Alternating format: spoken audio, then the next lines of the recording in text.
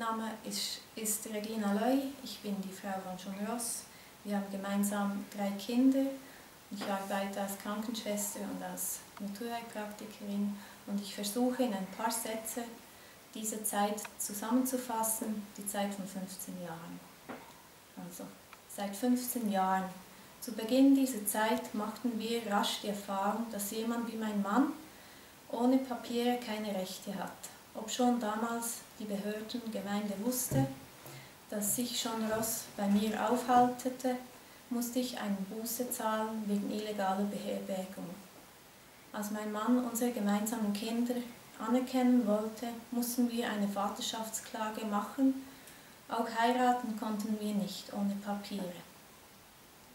Da die Liebe nicht ausreicht in den Augen der Gesellschaft, um der Bund der Ehe einzugehen. Er wurde in all den Jahren immer wieder wegen den fehlenden Papieren bestraft, obwohl das kaum zu glauben ist. Niemand wusste, wie er zu einer Aufenthaltsbewilligung kommen könnte bis wir dann einen Anwalt bezahlt bekamen und er dies nur in knapp drei Wochen äh, zustande brachte, dass er eine Aufenthaltsbewilligung bekam. Und was war mit all den Jahren zuvor? Die Integration meines Mannes wurde alle mögliche und unmögliche Steine in den Weg gestellt.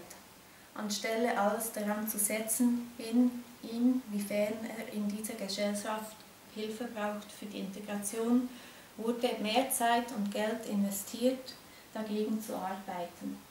Die Zeit vor Jahren, als er für circa zehn Monate in Haft war, konnte ich klar zusehen, wie es ihm immer schlechter ging. Ich ließ keine Besuchszeit aus, versuchte ihm mit Liebe beizustehen. Mein Mann ist kein Krimineller, das weiß ich denn ich wäre nicht all die Jahre zu ihm gestanden, wenn dies der Fall wäre. Die Zeit ließ dennoch seine Spuren, denn er musste viel von seiner Zeit und Energie in die Aufgaben setzen, wo er versuchte, versucht, den hingeworfenen Steinen auszuweichen.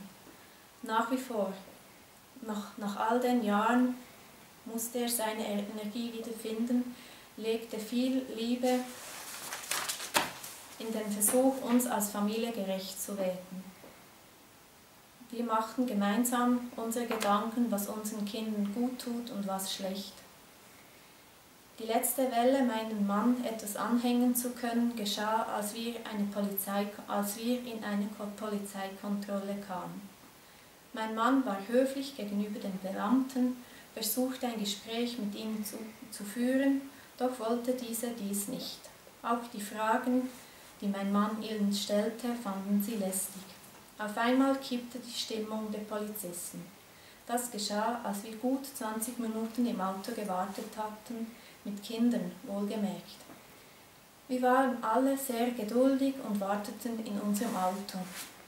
Als der Polizist wieder aus seinem Auto ausgestiegen ist, kam er zu uns, gab mir die Papiere und wollte die Kamera von meinem Mann ergreifen. Der Polizist wurde handgreiflich, weil er nicht wollte, dass schon dies gefilmt hatte. Über drei Jahre zog sich, in dieser Geschichte, zog sich nun diese Geschichte hin, bis nun nach allen Suchen der Behörden 20 Tage Haft bestimmen wurde. Sind es dann nur 20 Tage oder nur ein Versuch daraus mehr zu machen? Dies lässt, löst für uns als Familie viel Stress aus. Das Vertrauen zum System wäre hier gefragt, doch bezüglich Schon ist dies auf brüchigem Fundament gebaut. Ich gebe und gab alles für Schon, einfach in Liebe. Aber reicht nun die Liebe aus, um unsere Familie beisammenzuhalten, oder ist der Druck von außen zu groß? Dies nun meine Worte. Ja, also du kannst bestätigen, dass der Polizist gelogen hat. Du warst ja dabei an diesem Tag. Ja. War der aggressiv? Ja, er wurde, ja, er wurde ja handgreiflich. Ja, also das war dann um, äh, äh, am 8. April 2011 um 11.40 Uhr in Burgdorf. Kannst du das bestätigen? Ja, war ja dabei. Genau. Äh, ist er einfach so ins Auto gegangen, ohne etwas zu fragen, total aggressiv? Ja, er wollte ja die Kamera wieder von dir, wollte sie Beschlagnahmen. Ne, das war ja vorher schon. Ist einfach im Auto gegangen, vorher schon. Um irgendwie eine Wasserspritzpistole von den Kindern zu holen, weißt du noch? Ja.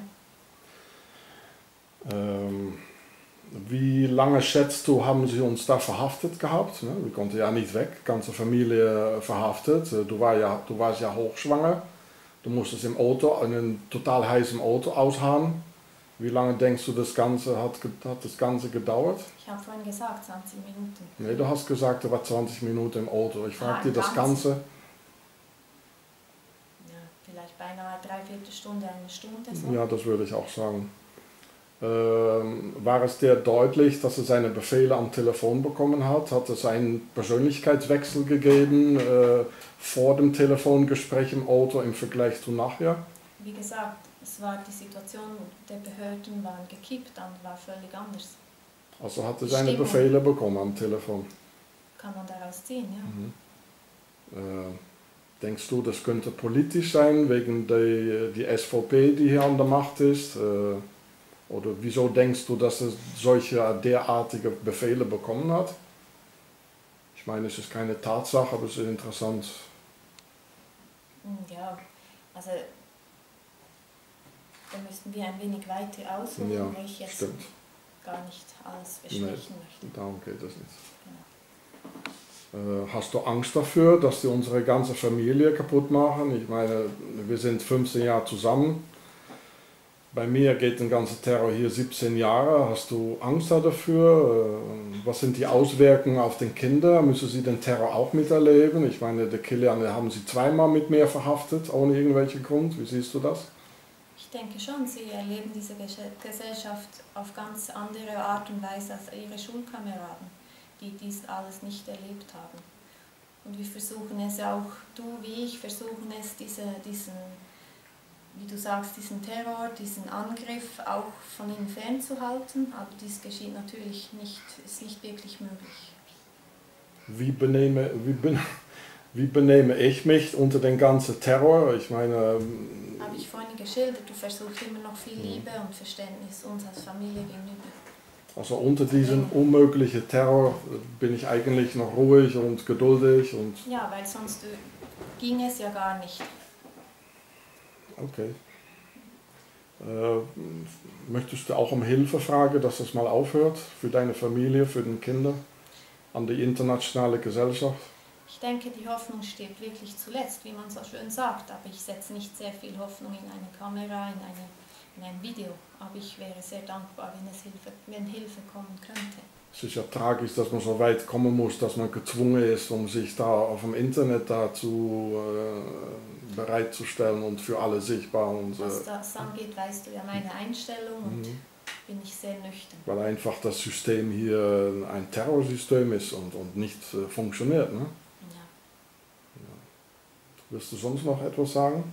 Nein, habe ich zusammengefasst. Ich mag es lieber kurz und bündig.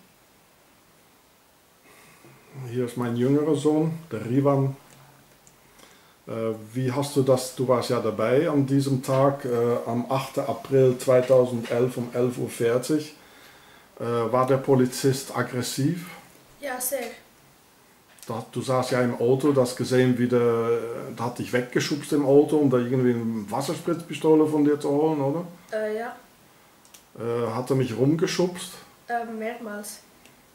Und äh, wie war ich, wie habe ich mich verhalten? Ganz freundlich.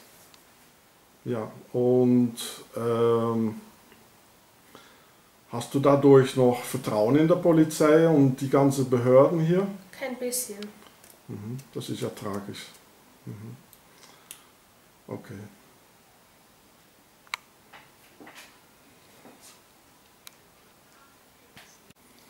Also das hier ist Kilian, der ist äh, mein Sohn, äh, der ist 14 Jahre alt. Der war auch dabei an diesem Tag vom 8. April 2011 um 11.40 Uhr mit diesen verlogenen Polizisten, der Kunz, Erika Kunz und Hans-Rudolf Kühni. Äh, wie hast du das erlebt diesen Tag? Äh, bist du auch verhaftet worden? Ähm, ja, die ganze Familie Ja. verhaftet, ja. Wie lange hast du ungefähr im Auto müssen aushaben? Das war ganz heiß, ne? Mami war schwanger Ja. und so. Circa 40 Minuten. Mhm. Stimmt, ja. Ja. Du hast auch gesehen, wie der Polizist äh, am Telefon war im Auto, ne? Ja, das stimmt. Wie lange hat es gedauert, dass er im Auto war? Zwischen 20 und eine halbe Stunde, Mhm. würde ich sagen. Ja. Äh, ist er, wie hat er sich nachher verhalten im Vergleich vorher und nachher, Telefon, nach dem Telefongespräch? Er wusste, was er zu tun hatte. Äh, wie ist, wie, aber ja genau, sehr gut, aber wie ist er geworden? War der normal im Vergleich zu vorher und nachher oder ist er irgendwie, war der anders? Ja, ähm, er wohl. Ja, ist ziemlich anders, ja. Wie denn? Ähm, eben wie ich gesagt habe, ähm, er wusste, was er zu tun hatte. Naja, okay. Äh, war der Polizist aggressiv? Extrem. Ja. Was hat er denn gemacht genau? Ähm, er hat meinem Vater die Kamera aus der Hand geschlagen und gedroht und so weiter. Mhm. Hat er mich rumgeschubst? Ja, ziemlich. Mhm. Wie war ich? War ich? Wie war ich ihm gegenüber? Ähm, nicht, gar nicht aggressiv, wie, man sagt. Gar nicht. Habe ich sie gesagt zu ihm? Ja, Hand geschüttelt? ja, alles höflich. Und ähm, hat er dich auch weggeschubst, als du im Auto saßt und er hat er einfach, ist einfach im Auto gesprungen, hat etwas gesucht, eine Wasserspritzpistole? Ja, das schon, aber ich ging dann schon aus dem Auto. No. Ja. Ähm, ja. Hast du noch Vertrauen in die Polizei, Schweizer Polizei, nachdem du das hier erlebt hast? Überhaupt nicht, gar nicht. Das ist traurig. Also sie haben gelogen. Ne? Ziemlich. Ähm, das war nicht das erste Mal. Also die haben uns noch ein zweites Mal verhaftet. Kannst du da etwas an der Tankstelle, kannst du da etwas drüber sagen? Ja, ähm, sie laufen mit einem Foto von meinem Vater rum. Und ja, sie wollen meinen Ausweis sehen, ähm, den Ausweis von meinem Vater auch.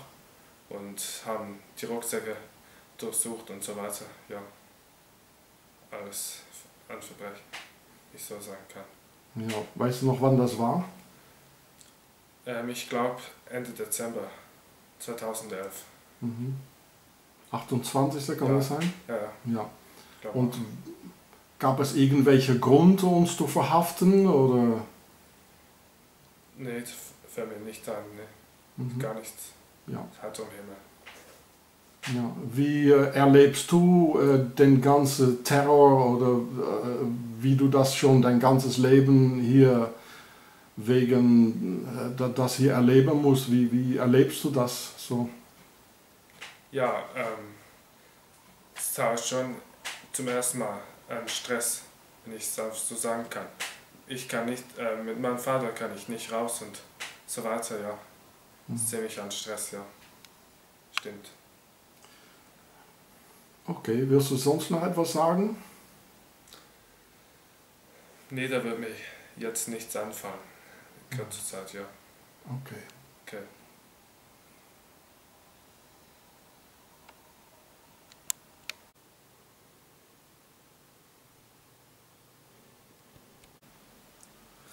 Die Schweiz ist eine Faschistendiktatur verknüpft mit der Schweizer Finanzmafia und politisch geführt von extrem rechten Nazi-Parteien im Parlament, wo die Schweizer Nazi-Polizei organisiert und mit Rückendeckung der Schweizer Nazi-Justiz auf Befehl von höher einfach Sachen zusammenlügt, um Ausländer in den Knast zu kriegen um eben künstlich die Ausländerkriminalstatistiken in die Höhe zu lügen, um im Parlament mehr Gesetze gegen Ausländer, Immigranten, andere Rassen und Andersdenkende zu veranlassen.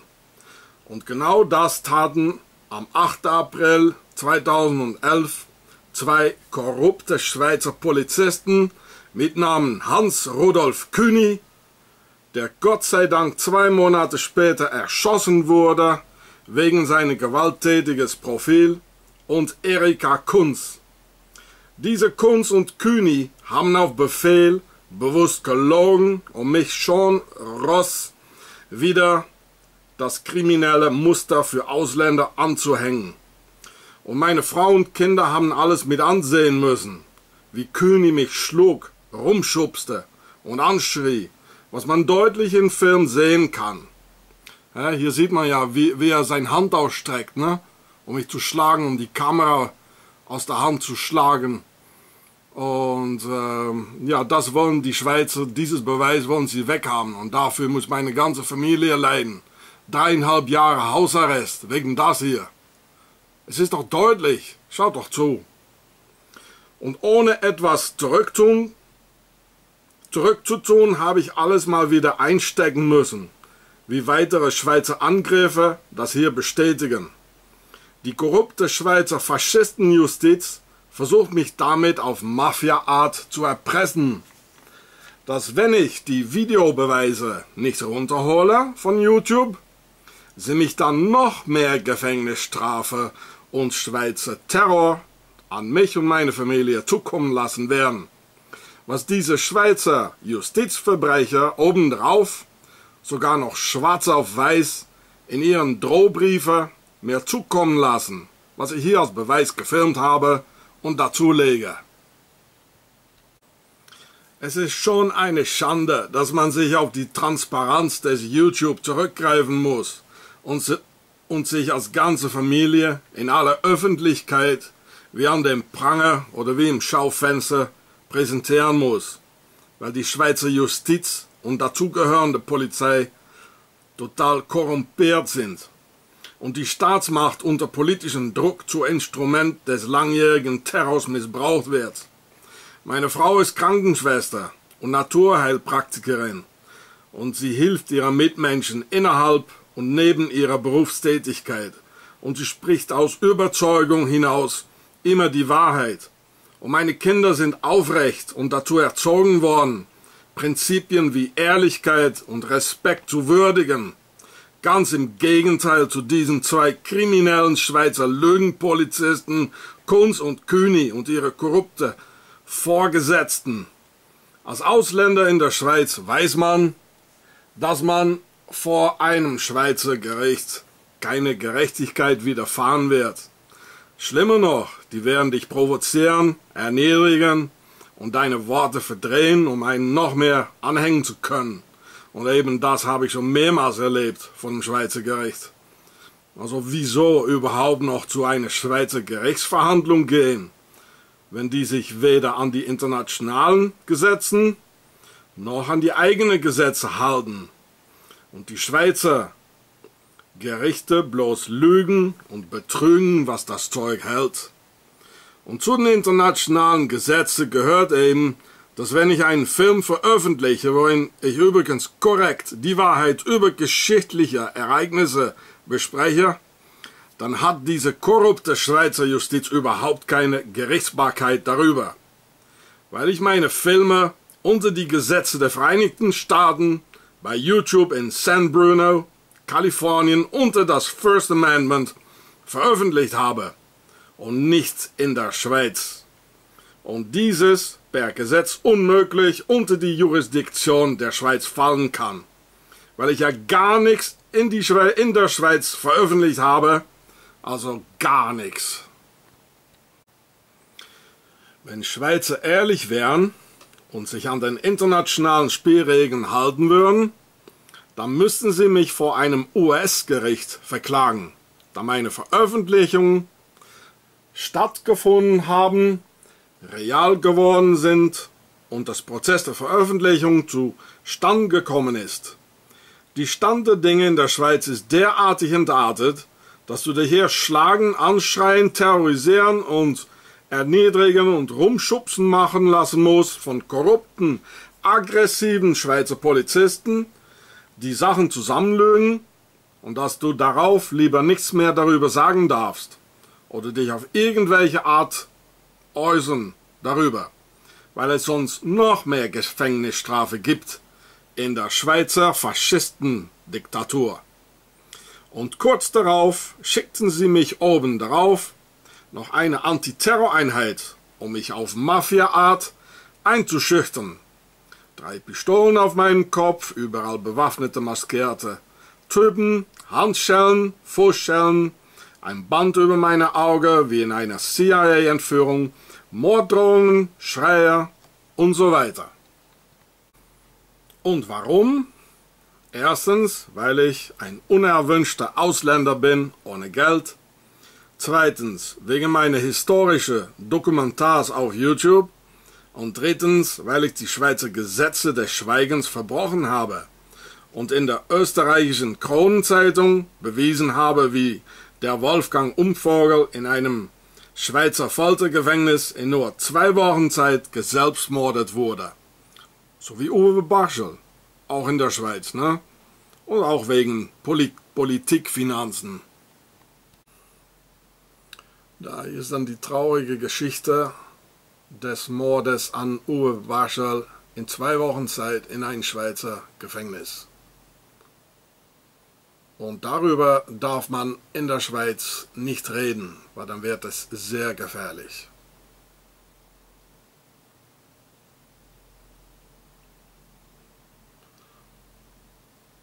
Und hier steht auch da mein Name hier. Und dass der mit O2T Falter ist der Österreicher umgebracht worden. Wegen Steuerdaten, wegen Steuerhinterziehung in der Schweiz. Und genauso wie Uwe Barschel und viele anderen, sobald es um große Finanzen geht hier in der Schweiz, dann, ja, dann geht es nicht lange mehr, ne? Mit Kabel erhängt. So ein lebenslustiger Mann hier.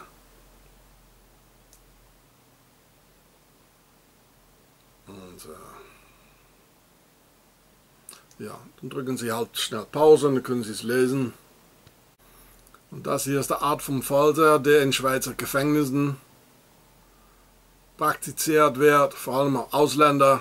Die Liste des Gestorbenen ist sehr lang. Und dieses Gefängnis ist irgendwann geöffnet worden wegen die deutsche RAF in den 80er Jahren. Schön alles versteckt, so wie die Schweizer das gern machen. Und da noch einige Beweisen in der Zeitung.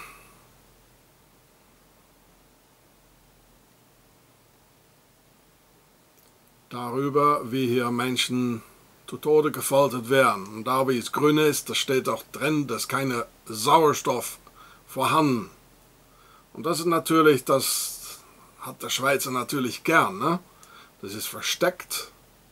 So wie Uwe Barschel, man kommt, niemand, niemand wird rausfinden, wie es gelaufen ist, hinter den Kulissen, unter dem Teppich. Totale Schweizer Art, ne? Hier auch. Am späten Nachmittag erinnert das Klima im zweiten Stock an ein Treibhaus. Und dazu sind die meisten Inhaftierten sind unschuldig. Die sitzen da drin, total basiert auf Schweizer Lügen der Schweizer Justiz. Ich finde im Vergleich die französische Polizei als sehr korrekt, respektvoll und menschlich, die vor allem von der französischen Justiz und Politik kontrolliert werden, im totalen Gegensatz im Vergleich zu der Schweizer Lügenpolizei. Ich habe seit 17 Jahren unter totalem Schweizer Faschistenterror leben müssen, wo sie mich als Ausländerkrimineller abgestempelt haben, was ich keineswegs bin. Ich habe kein Einkommen, kein Arbeitserlaubnis gehabt, nie sozial bekommen, lebe unter dem Ex Existenzminimum und wenn ich krank bin, muss ich drei Tage trampen nach Frankreich, um mich behandeln zu lassen. Ich hätte gern als Historiker auf einer Universität arbeiten wollen, aber weil die Schweizer alles daran getan haben, meine Integration zu verunmöglichen, ist es leider dazu nicht gekommen. Stattdessen muss ich hier den Behördenterror hinhalten. Und hier kann man in der Zeitung lesen, wie mehr als 10.000 Asylanten verschwunden sind. Und höchstwahrscheinlich sind sie äh, eingeäschert worden, so wie in Auschwitz, was auch eine Schweizer Idee war. Und in dieser Film sind auch alle Beweise, wie die Schweizer auf alle Führungspositionen Auschwitz kontrolliert, die Verantwortung darüber hatten und alles finanziert haben. Es waren keine Deutsche mal, es waren alle Schweizer. Das ist die Schweiz, eine organisierte Verbrecherbande mit einem Land. Und ich sage euch Schweizer und Schweizerinnen, dass meine Filme bleiben werden, trotz eurer Zensurmaßnahmen, Zensurerpressungen und weitere bekannte mafiose Methoden. Und irgendwann werden meine Filme millionenfach angeschaut werden und wird die Welt dadurch erfahren, was für Großverbrecher ihr Schweizer und Schweizerinnen in Wirklichkeit seid, hinter eurer Neutralitätsschwindelfassade. Und hier in diesem Film in, auf Englisch habe ich nochmal festgelegt und bestätigt äh, in meiner Aussage, dass ich niemals äh, jemand äh, angreifen oder verletzen würde und äh, nie mich selber umbringen würde und keine Depression habe. Falls sie das trotzdem machen werden, da die Behörden. Und übrigens, weil so viele Ausländer in Schweizer Gefängnissen und Folteranstalten umkommen, verschwinden sowie 10.000 Asylanten oder geselbstmordet werden, so wie äh, Wolfgang Umvogel und viele anderen, möchte ich Sean Ross nochmals bestätigen, dass ich mich niemals umbringen würde, keine Depressionen habe, noch sonst psychische Beistand brauche, keine Medikamente nehme und niemand anders auf irgendeine Art verletzen werde. Glaub mein Glauben und Instrumente, die ich mir bediene, sind Geduld, Transparenz, Ehrlichkeit und eine eiserne Disziplin, ganz im Gegensatz zum allgemeinen und weit verbreiteten Schweizer Betrug mit all ihren total entartenden Facetten, was sich nur mit einem Parasiten vergleichen lässt.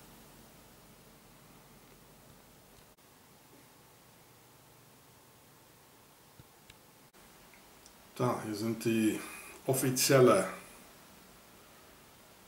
äh, Papier der Behörden.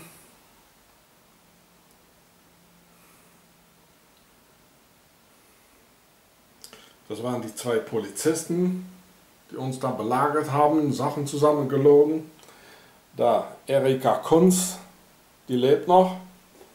Und dann der hier der hat seine Strafe bekommen, der ist tot. Gott sei Dank, der kann keine Menschen mehr, der kann, der kann nicht mehr lügen und keine Menschen mehr Leid zubringen.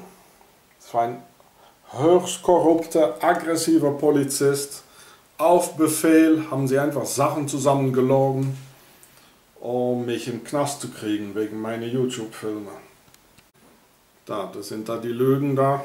Das ist vom Kühni höchst aggressiver Polizist. Darum ist er auch tot. Der junge Mann hatte Angst bekommen und hat ihn erschossen. Äh, man wird geschlagen von der Polizei hier und die lügen Sachen zusammen, um dich äh, in den Knast zu kriegen, auf Befehl, was dazu einen Befehl im Auto bekommen und wenn man dann noch seinen Mund darüber aufmacht und sagt, hey, das geht ja nicht, das stimmt nicht. Naja, dann kommst du nochmal vor dem Gericht hier, wo ich nicht gegangen bin, weil ich anerkenne da das Schweizer Nazi-Gericht nicht mehr mehr. Ja, dann gehst du in den Knast, wenn du noch dich als Ausländer das die Frechheit hast, um dich deinen Mund darüber aufzumachen oder so, ne? Unglaublich. Also da muss alles hinnehmen, Mund zu halten, wie in einer Diktatur. Da, das habe ich noch darüber geschrieben. Einige Sachen da. Wie es wirklich ging. Und meine Frau und Kinder waren dabei, die haben ja alles gesehen. Ist alles gelogen. ist alles Politik und hier regiert ja die Schweizer Nazi-Partei.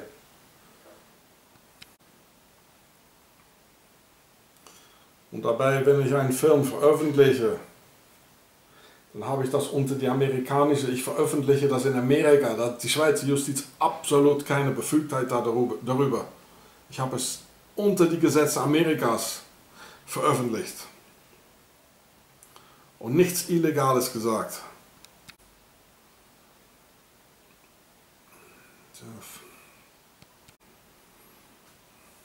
Da, das heißt Knast, ne? Vollzugsverfügung, nur wegen YouTube-Filme.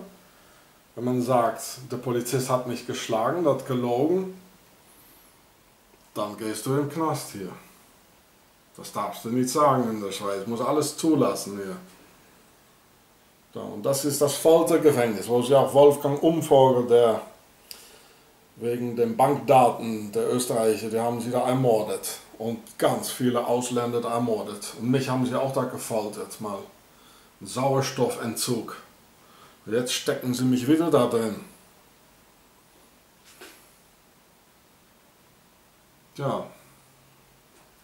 Die Schweizer SVP-Nazi-Partei, ja, die brauchen einfach ausländische Verbrecher, die keine Verbrecher sind. Um die Kriminalstatistiken künstlich zu erhöhen und nachher gehen sie zum Bundeshaus, in der Regierung und sagen, ja, die Ausländer, die sind so schlimm und so kriminell und so. Und ja, wir brauchen mehr Gefängnisse, mehr Polizei, wir müssen all die Ausländer auch schaffen und so. Da arbeiten sie denn da dann, die Schweizer. Ne? Es ist ein Faschistenstaat, der aber auch den Zweiten Weltkrieg finanziert. Der Himmler war ein ethnischer Schweizer. Der Mengele ein ethnischer Schweizer. Alles Allemann an der Schweizer Grenze geboren. Das waren keine Deutsche. Der Obergruppenführer, Reichsminister Leonardo Conti war ein Schweizer, man nannte ihn auch der, der Schweizer Sadist. Und Ernst Rüden, Hitlers Mastermind, war ein Schweizer. Und äh, auch Karl Jäger von den Einsatzgruppen, alle Schweizer. Der Hitler wurde auch in der Schweiz finanziert von General Ulrich Welle, der mit äh, der Schweizer Aristokratie von Bismarck rein geheiratet war. Wegen nichts im Knast. Und was fällt auf hier? Also wenn ich hier das Logo schaue, ne, das Berner Wappen, was macht dann die Krone da? Regiert hier trotzdem der Adel, also, obwohl die Schweizer sagen, ja, wir haben ja direkte Demokratie. Was macht dann eine Krone da, wenn das Volk so genannt regieren sollte? Ja? Naja, das hat Johannes ja gesehen in der Offenbarung. Das Tier hatte sieben Köpfe und zehn Hörner. Die Schweizer haben zehn, sieben Bundesräte oder sieben Präsidenten die zehn Ministerien unter sich verteilen. Und das ist der Bär, das Biest, was Johannes gesehen hat, der auch den Zweiten Weltkrieg gegen die Deutschen, gegen Deutschland auch, gegen Europa finanziert haben. Und die Templer waren ja Adlige, das waren keine Mönche. Auf jedem Brief steht es hier. Ja, wenn das Volk ja regieren sollte. Und das sind die Behörden, die ja regieren. Warum musst du dann eine Krone da drauf? Wacht doch auf. Das ist die alte Weltordnung, die noch immer jetzt die neue, das feudale System der Adlige, die noch immer jetzt regieren in der neuen Weltordnung. Da hat sich wesentlich nichts für verändert. Und das ist dann der Schweizer Anwalt, der nichts macht. Ja, ist alles wie eine Entenschießen. Ich gehe auch nicht mal da dahin, das bringt sowieso nichts. Da, wegen meine YouTube-Filme. Gehst im Knast.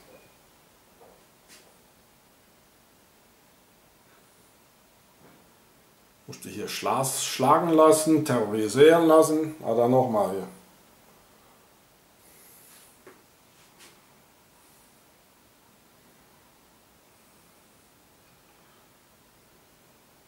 Die Schweiz ist eine Diktatur, gehüllt in feine Milchschokolade und immer Geld. und Gold, das wollen die Schweizer.